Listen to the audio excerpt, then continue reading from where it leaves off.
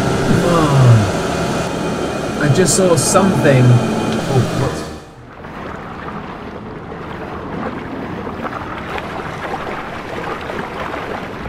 American fiction writer Lauren Myracle once said, You will love the ocean. It makes you feel small, but not in a bad way. Small because you realize you're part of something bigger. The ocean makes up more than 70% of the Earth's surface, with more than 90% of all living creatures calling it home. No doubt, the ocean is connected to our lives in many ways than we are aware of. Recently, scientists have come to even realize that a key part of the ocean could be the key to ending one of humanity's biggest hurdles unending hunger. However, one conundrum lingers in the minds of these scientists. For thousands of years, this part of the ocean has been left untouched from the prying hands of humans. What would happen if this undisturbed habitat is suddenly used to sustain humanity's insatiable, ever expanding population? Can we finally end world hunger once and for all, or is it back to the drawing board? Hello, and welcome back. Today, we react to the conundrum surrounding a fish that could save or destroy the world.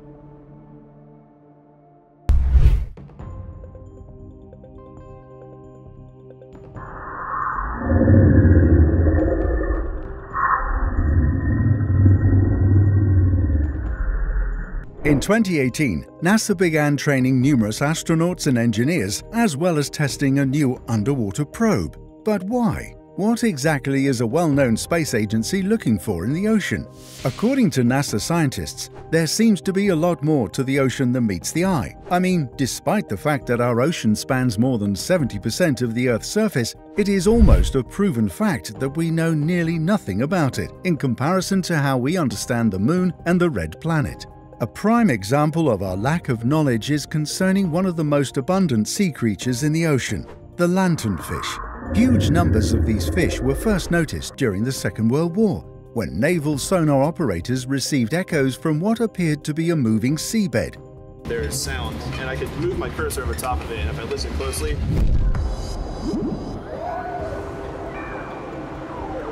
One that mysteriously rose to the surface at night and fell back down at daybreak.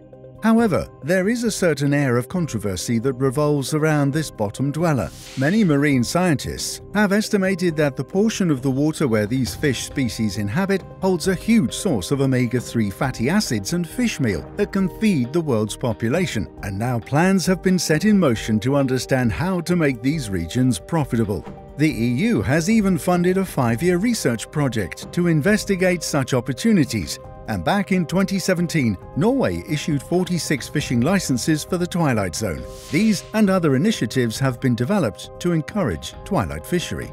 Now, coming back to the lanternfish, the huge numbers of these fish species have made them a subject of hot debate, as several organizations intend to fish these creatures for the purpose of quote unquote feeding the world. Now, even though these guys are most likely not going to be on your menu, as they are far too bony, their high oil content means they could be mashed down for animal feed, mostly for fish farms. But the idea of thousands of shining fishes moving freely within the Twilight Zone doesn't seem to please the big fisheries and pharmaceuticals that intend to utilize them, as leaving them untouched would be, in their words, a complete waste. Now, that could be true, but like Gerald Brom points out, everything comes at a price, and some things could cost more than others. This begs the question how much are we prepared to pay for this new taste, and how virtuous is the goal of quote unquote feeding the world?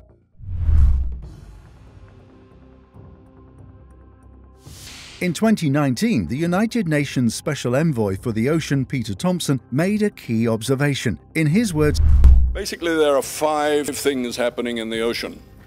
The first three relate to climate change.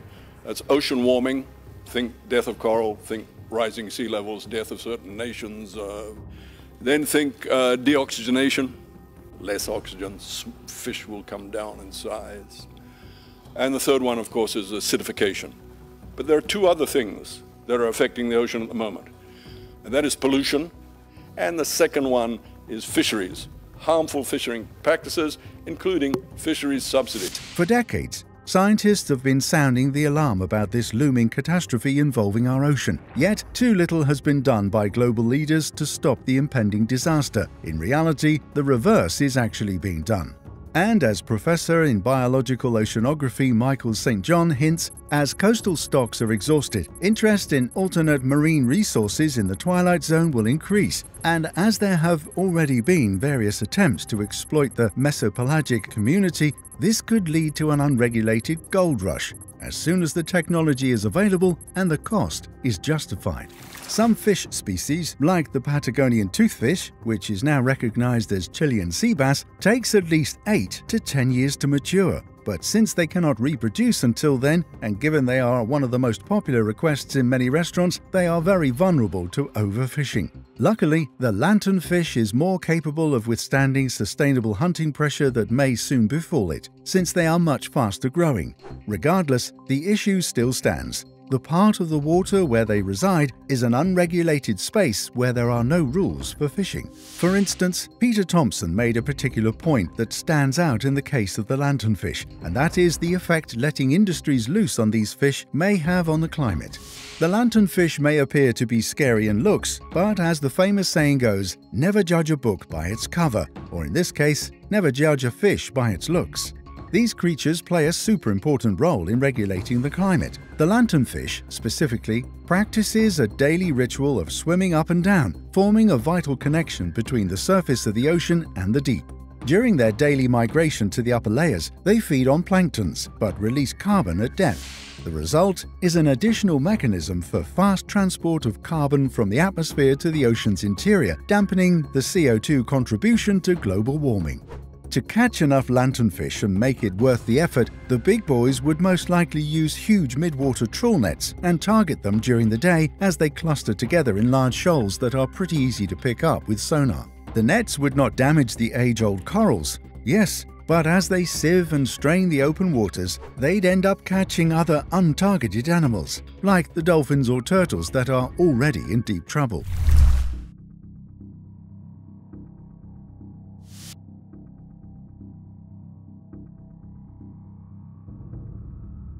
Well, there is really no simple solution that can be universally employed to ensure that all fishing is done sustainably, at least for now. Marine ecosystems are to be preserved, but so are human livelihoods due to the ever expanding population. There are just too many conflicting interests involved. Too many countries that cannot afford to properly monitor and enforce good fishing practices, and way too many people who depend on fishing for their livelihoods. But, as Mahatma Gandhi famously remarked, an eye for an eye will only make the world go blind, or in this case, persistent conflicting interests will inevitably change nothing to make this situation better. That said, it's not too late to save the ocean. Minimizing the impact of overfishing on the environment involves a lot more than just watching this video and doing nothing in the end. We all have a part to play in defeating this silent disease disturbing our planet. History has shown to us time and time again that when the big boys enter new regions, particularly when they are in search of new species, there are always devastating environmental effects. Can this same mistake be avoided this time in the Twilight Zone?